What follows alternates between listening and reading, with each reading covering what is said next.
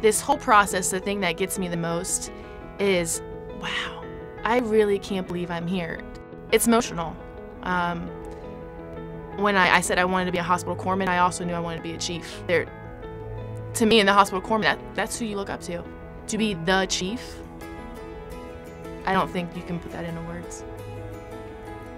It is very surreal to be in this moment. Um, it's, extremely humbling. Ever since I won this award, I've been sitting back and self-reflecting more than I ever have in my life, you know. And one of the things that all of the candidates prior that I had spoken with, they said through the whole process, just be yourself. Be yourself, be yourself. And that's exactly what I've done through this whole thing. Putting on khakis the first time was surreal. It was a surreal experience.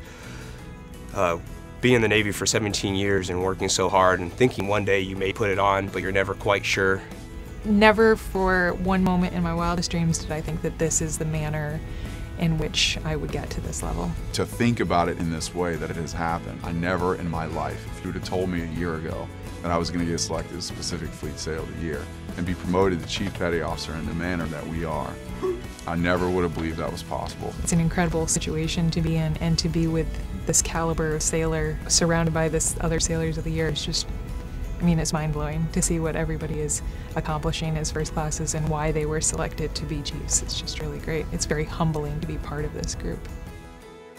Every one of us are approachable. I think that's what makes a good chief petty officer. Somebody's approachable and knowledgeable and confident in what you do. It's funny, you can kind of pick us out of a crowd. Like you can see um, the, what the similarities are between all of us, but the level of enthusiasm that I am sometimes exhausting myself with, uh, I see it in those other sailors. Be who you are. And always remember that you can go nowhere without others. You have to have and embrace the people around you because without that, you are not able to move forward. And I, I know that for a fact that I'm only here as a representation of the people that I have been able to serve with.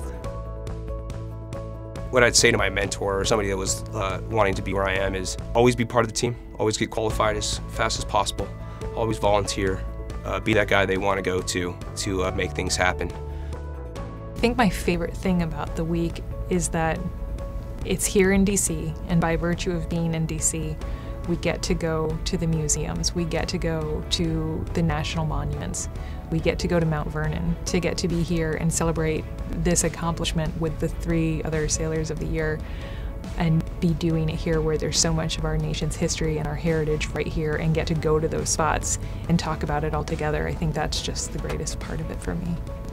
And this is a this is an experience and I will never forget. This is by far the most life-changing experience that I've ever had and I promise to the Navy that I will be the best Pacific Fleet Sailor of the Year that I can be and give back. What we've seen and what we've been able to do and the culmination where my friends and family and my Master Chief and CO are up there and, and put on anchors on my khakis first time. It'll be a surreal experience sitting in the Navy Memorial and being able to tell that story to my kids and, and having photos and just the overall experience with everybody I meet along the way is going to be amazing to see such an important stage in a Navy sailor's life when they progress to the rank of Chief Petty Officer, and to have my, my husband and my daughter, um, a, a, Master Chief Corpsman mentor of mine, a Chief HMC mentor of mine, um, welcome me into, into the Chief's mess is, is going to be uh, beyond words.